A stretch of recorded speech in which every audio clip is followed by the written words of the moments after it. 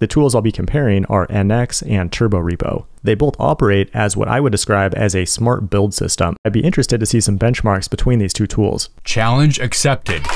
Alright folks, you might have heard this, that Turbo Repo is a new build tool to build monorepos. So you can have your applications in one single repository. And this allows for a lot of code sharing, especially if you're in the modern web front-end ecosystem and even mobile ecosystem like React Native, NativeScript, Ionic, and so on. But especially if you're using things like Next.js, React, Angular, these monorepo tools are becoming super popular as you might have caught on Fireship's channel. If you don't know what I'm talking talking about, go check out that video after this video, of course. So Fireship talks about two repos and I decided I'm gonna test them out. I'm gonna actually benchmark them to see which one is faster. But a caveat here, I've been using NX for the last couple years in my own projects, and TurboRepo is something I've never heard of before. It's brand new. So I was pretty excited to check it out. Maybe it's gonna be faster. Of course, TurboRepo is new, so it doesn't have nearly as many features as NX does, so keep that in mind when watching this video. So in this video, I'm gonna do a performance test, and it's a benchmark, and this is actually a test you can do yourself because the creator of NX, one of the creators of NX, Victor Savkin, uh, he actually created a benchmark. And this is a huge repository with 27,000 components. Five different applications, I believe, are in it. It's just sample apps, so they're not realistic, but still it requires some time to build these. And it's a single repository with a single package, top level package.json file that has both TurboRepo and NX installed, so you can compare them both against the exact same code base, which is really cool. That's exactly what I wanted to do, but he did it for me, so that's what I'm gonna show you today. By the way, he did a lot better job than I would have done, so thanks, Victor. Now we're gonna jump in and do this right here. So if you wanna get started with TurboRepo, you can go here to their docs and just run this command. And when npm actually works, this will start a new project and it'll scaffold out a new application, a sample application for you to look at. I've actually done that, and this is what it looks like. So I have this folder where I have an NX repo, a turbo repo, and then the large mono repo that contains both of them. So here's the turbo repo, and uh, we have package.json file at the top level, and you can see that we do have some scripts included, and turbo is the CLI, that's the latest. This is what you get scaffolded out when you run that command. Now, they separate things by apps and packages, slightly different language than NX uses. NX uses apps and libs, but the idea is similar. So under packages, you have your config, tsconfig, and then UI is uh, this library that was generated where you have your initial code sharing UI library that you can create and share that between the different applications that you have. So here's an example for a React UI button. And now the app can actually consume that. So here is a Next.js application that can consume the button just like that. Now I gotta say, from playing around with this, Turbo Repo does feel a lot simpler initially, but it's not nearly as powerful yet as what NX provides. So I'm sure the complexity of Turbo Repo is gonna grow as it develops more features. For example, look how easy it is to import a component. You just say import button from UI, done. Seems simple enough. However, NX digs a little bit deeper than that. And what they do is they have libs. Uh, the folder structure is pretty deep in here, but you can also do the same thing where you have a button in a UI lib and you can uh, generate this lib. So I had no problem just using the CLI to generate a brand new library called UI and put a button in there. Okay, so when you import that button, everything is scoped to the namespace namespace. So let me show you what that looks like here. So now the namespace is your monorepo's namespace that you created when you start up the project. So you can't just import from UI, you have to import from at my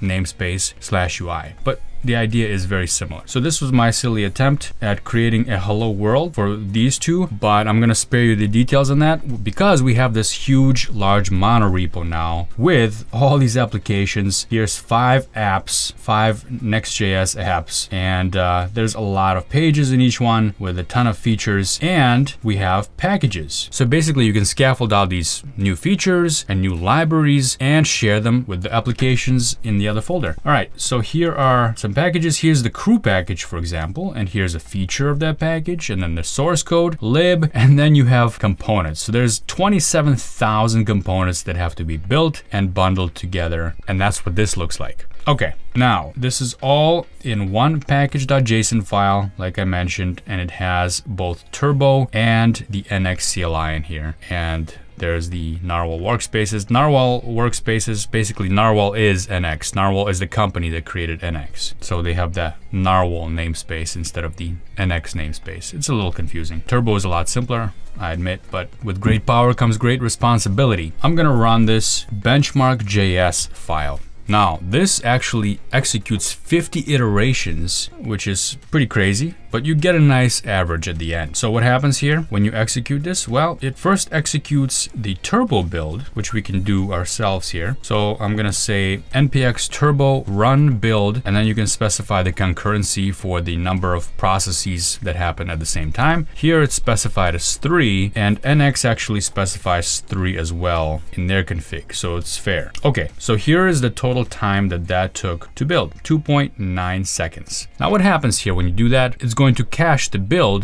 And then the next time you run the build process, it's supposed to use the cache in order to do the build. So it saves time supposedly if certain assets were already pre-built. Now, uh, Victor on the blog post that they've put out claims that actually Turbo Repo doesn't do that. Turbo Repo blows everything away when it does rebuilding and that's why NX ends up being faster. So I'm gonna show you this. I'm gonna show you each one of them separately and then we're gonna run the benchmark and then you kind of know what happens. NX is faster, but why is it faster? Well, that's one of the reasons is because Turbo blows everything away and rebuilds everything from scratch, but because of the way NX places its files and the way it organizes the project, it doesn't invalidate the cache every time you build. So 2.9 seconds. If I run this again, we get 2.5 seconds. And again, 2.5 seconds. So it's always around there. Now, you might be wondering if the concurrency can be changed, and I did play around with this. Let's say you have 10, which is actually the default value. It doesn't change the result much at all. We still get around the same. Even if you set the concurrency to one, which means run in pretty much serial mode, not in parallel, the timing result doesn't change much at all there either. There is another option, and uh, you can specify parallel, which will run, I guess it'll use as many parallel tasks as it needs needs, parallel overrides the concurrency flag. So we're still getting 2.5. Okay, so I've run this many times now. We keep getting 2.5. Now let's run the NX version, and that is right over here. So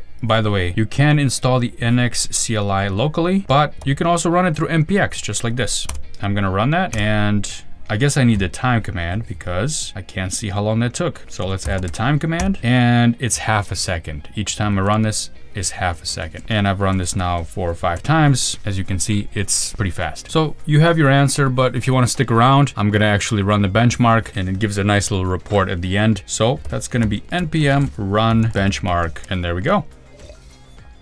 Let's see what happens. Now, while it's running, I just want to mention one other thing that I really enjoyed about using NX is you can hide certain projects. So let's say you have a monorepo with a few projects in it. I don't know, maybe 10, let's say. And actually, I've done this on this channel before. If you take a look at my NativeScript plugins repository that I've covered here before, that is a monorepo built on NX. You can hide different parts of the workspace and only focus in on the stuff that you're working on. So let's say you have multiple teams working on the monorepo. You don't want to see see the entire code base, it's also going to slow down your editor. You can focus in only on the projects and the apps and the libraries that you're working on. Have that show up in the editor and work on that as if you're only working on one app in one repo. That's what it seems like anyway. But really you're working in a mono repo with a bunch of other projects. So you can restore the visibility of all the applications if you need to take a look at other ones. Uh, you can build the application separately or you can build them all together. But uh, Turbo Repo doesn't have that feature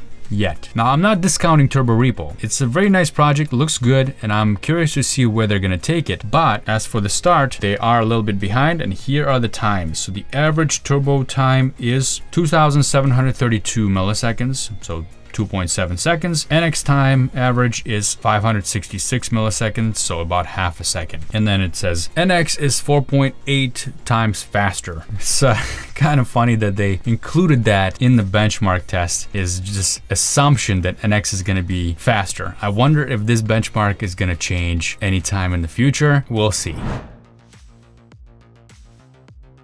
Are you kidding me? I just finished recording my video and I go to Twitter and I find this tweet from Victor Savkin. A quick follow-up. I discovered a small bug in NX that slowed it down and fixed it. Ah, uh, okay. I have to redo this test. I didn't do it 50 times. I did it five times, but the numbers are so consistent that it, at this point it doesn't matter. Here, look at this. NX is 9.0 times faster than Turbo. So average NX time went down from about 580 milliseconds to 280 milliseconds. Not bad. There you go, folks. If you found this valuable, I appreciate a thumbs up.